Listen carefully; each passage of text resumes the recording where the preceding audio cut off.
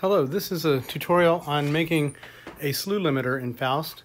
This is something that was fun to work out and I thought it had nice general uh, principles that could be illustrative. So basically a slew limiter is something that takes um, an input signal, let's say it looks like this, x versus time, and subjects it to slew limitation. So, so the output y will um, will track x until it goes too fast too far. So this is the, the slew limitation. It's a maximum slope and it catches up and follows it and then it gets slew limited in the other direction.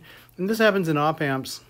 Um, it's just a fundamental um, you know, uh, limitation on how fast the output can change. So how do you simulate that in Faust? Um, it's a fun little problem. So let's have our input signal X coming in. Um, we're going to have to uh, compare it to the output. Let's say the output's over here and we just um, bring it around and compare it. So it's plus and minus. And that gives us, you know, how much slew we want. So let's call this um, x minus y just to give it a name. That'll be helpful when we write the code. And then we go into a um, a box, let's call it stepped calculation, that will either pass through x minus y or it will pass through the maximum slope. And so that will be an input, let's call it m. And so that comes in. And, um, and then we have our delta. Um, let me do a little bit of erasing here to make a little room for uh, a summer because we have to now um, take our delta which is either you know the uh, maximum slope or the desired slope. And we have to um, um, see that'll just be a sum. Um, so this is y and uh, and then we add this delta to y. And I can draw this in a number of ways. I'm going to draw it as much as I can like Faust would draw it. So that's why my uh, feedback path goes up and over because Faust draws it that way. And I'll also draw the little uh, squares that indicate one sample of delay. So this is really x minus y prime, x minus y delayed one sample. And so this is what makes it a little bit tricky because it's got two feedback. You can think of it as uh, concentric feedback loops. Um, but it's a, it's a single feedback that, that has two destinations. And so it's a little bit hard to write down in your head. Um, well, a lot of us couldn't do it the first time. And so now that we have a block diagram, it's much easier to write down the Faust. Okay, so um, let's let the uh, slew limiter function S of L, so we have a parameter M, parameters usually come first, right?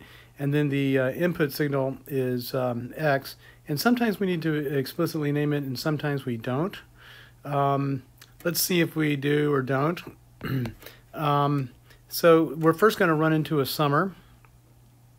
And so that we can write as plus.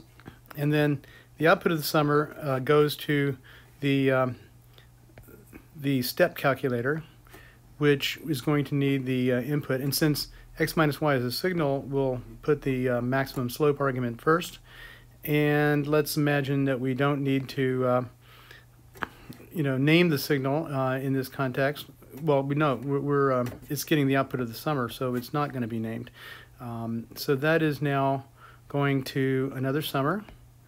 And this summer has um, just a, a, feed around. This is your standard little integrator. Um, you know, you can just sort of recognize this as an integrator. It's very common.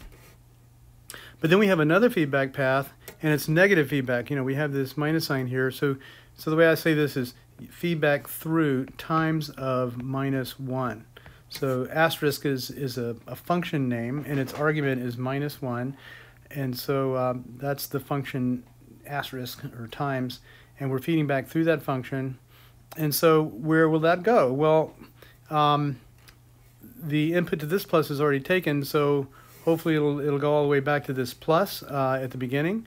Um, and to make sure of that, we, um, we put parentheses around it. And, and that's very often necessary because, you know, you might have other open inputs somewhere that might grab it. It'll it'll grab the first open input going back.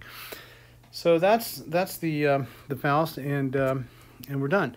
Except that we need to uh, define the step calculator. So step calc of m, um, um, and let's just keep it clear by writing x minus y explicitly in the signal.